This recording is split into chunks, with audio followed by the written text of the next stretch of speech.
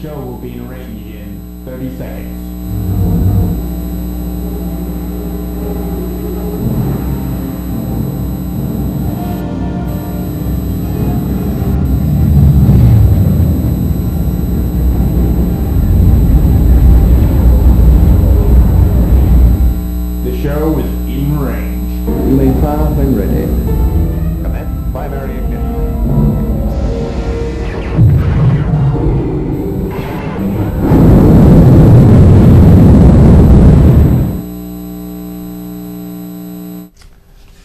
Michael, And I'm Emily. and this is the show.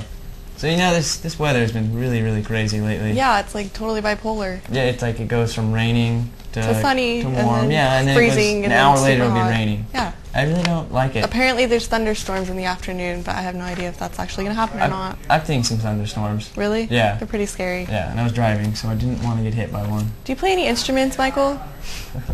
I love watching the drumline perform, and the St. Joe's and Righetti game, they did an amazing job. Yeah, I thought it was really cool. The drummers showed their talent on the field. Everyone in the crowd was going wild. It was a great game.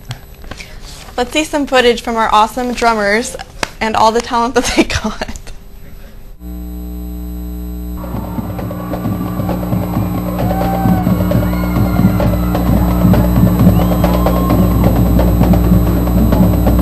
Every varsity home game, the drum line puts on the drums and heads down to the field to support the football team.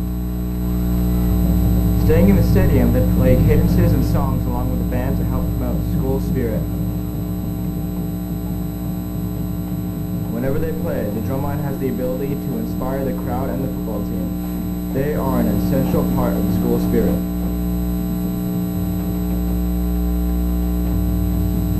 However, before they get to play in the stadium, they have to practice for hours.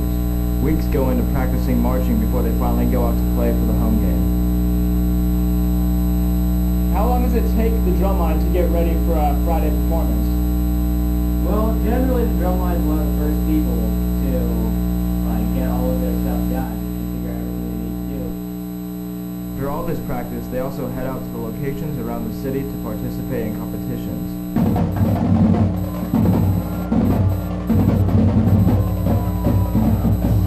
At school, the crowd loves the drumline and their shows and show great support for them whenever they perform. This is Nick Ligon and Josh Chong reporting for the show. Talented. Oh no, pretty pretty crazy. Pretty talented drumline. Have you ever played any instruments? No, I wish I did though. No. I played guitar for a while, That's but then I started skateboarding again. yeah, so I don't play anymore. um, but I'm gonna start playing drums actually. That'd be cool. Do you like to cook, Emily? Because I have, I love a woman that can cook. I love eating anything and everything that my mom makes for me. What's your favorite type of food? Well, my favorite would have to be Italian. I love spaghetti with tons of meat sauce and lots of onions. The noodles have to be just right for me to like it though, you know? Yeah, I get that. Sometimes when my brother cooks spaghetti, he really makes it crunchy. I thought that counts. Though. Thought that counts though. Let's see how amazing our cooking segment.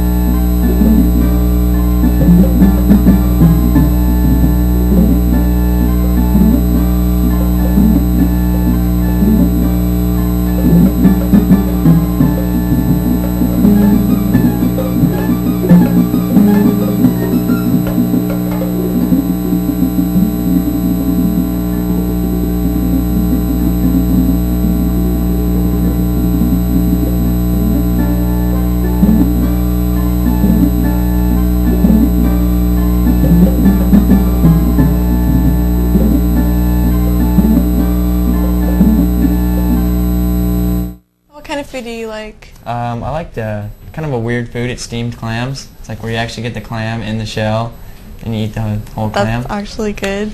yeah, it's actually I've Never really tried good. that before. If you like clam chowder, you would really like it. All right, I'll try it. And it's better for you than the actually fried clams Well, probably. because I'm such a I know. health nut. The homecoming dance is this Saturday. If you are bringing a guest that does not currently attend Righetti, you will need a dance guest pass. Those need to be turned in to the business office at least one day before you purchase your tickets. Ticket sales end tomorrow.